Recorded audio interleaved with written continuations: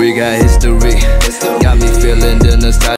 There's nothing in life more painful than losing people that are very close to you. Nothing. Nothing. I don't care about who I am and what I have. I lost my brothers today. And that's the most painful thing ever, ever, ever.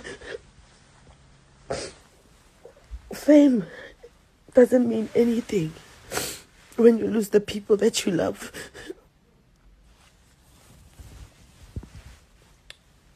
It doesn't. It means nothing. It means nothing. You can you can take it away. It's fine. But this is too much. No, this is too much. We can't be mourning people that we love and still be sensitive towards.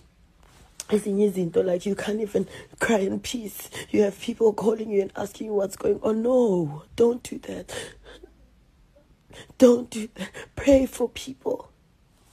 Artists are broken. We are broken as a nation. We're not united. And it's days like this where we realize that life is too short and we need to be there for one another. We need to stay strong in everything that we do, and we need to pray for one another because we risk our lives to get to events to make people happy. Today we lost our brothers because of the same thing that we love, the same music that we love.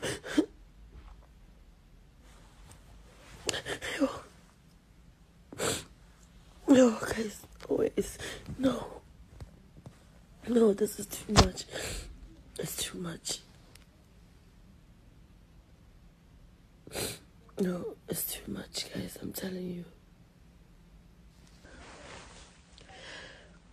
I don't think I wanted to even do this, but I feel like I want to do it. There's things that I think a lot of people need to understand. But we are not celebrities when we lose our brothers. We are not celebrities when we are in pain. Nobody can ever handle the pain of losing people that they care about. People that have helped them grow in in every way possible. I don't understand. I'm confused. I'm confused. I don't know what's going on. I don't know how to feel. Like, but guys, please understand. With, with me, I'm not a celebrity. I'm not a celebrity when it comes to people losing people that I care about. I'm not. I'm not. I'm not. I've never been and felt so weak in my life. I've never, ever. Umpurata and uKiller Kau touched me in a way that nobody else has ever touched me. And I don't expect anybody to understand that. That's for me to, to understand. So when we lose people, stop calling us and asking us what's going on. Stop asking what happened and just pray. Pray.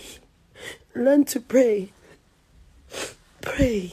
Sibancane ukuthi singasho shona kanje. Sibancane guys. We must pray. Thinking about what could have happened or what could have been. Finally, your face, I know it.